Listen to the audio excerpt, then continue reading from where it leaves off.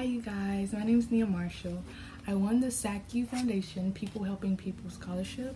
The scholarship is awarded for $10,000. And during this process, I had a lot of support, but I did have one huge supporter, um, Carlynn, and she helped me with a lot of things, especially with my essay. She incorporated her ideas, but also mine as well, and that helped me win the scholarship. And she also is a great support.